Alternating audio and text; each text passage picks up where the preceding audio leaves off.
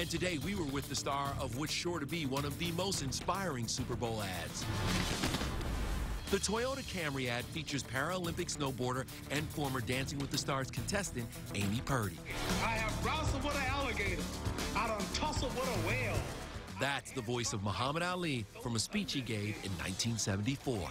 I am absolutely honored to be teamed up with Muhammad Ali to have the first commercial after kickoff. It's it's so surreal. I'm gonna show you think people are just craving inspiration. It's about how it makes us feel, and we all want to feel inspired. Despite the commercial controversy, stars like Katy, Lenny, and Gisele are all getting ready to descend on